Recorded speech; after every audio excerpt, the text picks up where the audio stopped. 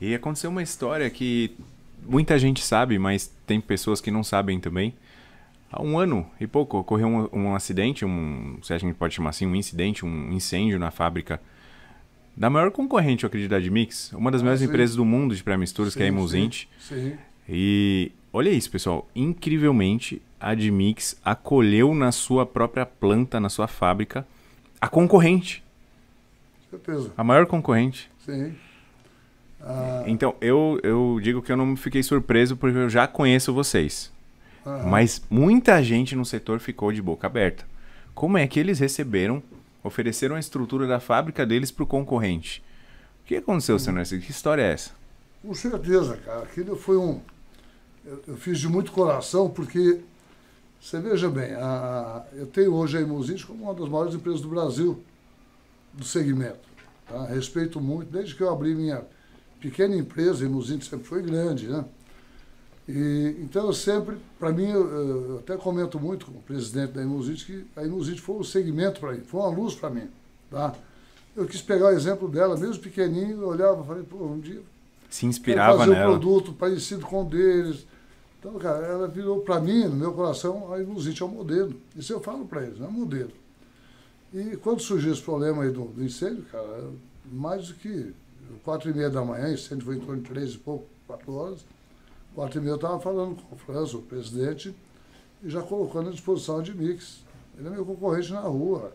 Ah, mas o, o, o, carinho que eu tenho pelas pessoas, pelas empresas tal, é maior do que a concorrência, né? E hoje é tão bacana lá dentro a convivência lá, cara, que a gente está preocupado quando separar de novo. Mas como é que tá funcionando? Eles atuam num turno, vocês em outro? Já atuam Não. a parte do dia todo, né? Uma turma na preparação, na pesagem e tal. E, e a produção entra à tardezinha. Aí a gente fica com uma, uma pequena produção só à noite. Aí o Musite entra com a produção forte na, na noturna. né? De vez em quando trabalha tudo junto, assim, trabalha uma turma dele lá, uma turma nossa aqui. Mas está assim, a convivência parece que você não percebe duas empresas Sério? juntas. Parece uma só. Uma só. Muito bacana, muito. eh, se Deus quiser, eles vão sair logo dessa, vão dar a volta por Que cima. bom, se Deus já, quiser. e- A gente torce muito por isso também. coração é, é isso daí. Entendeu?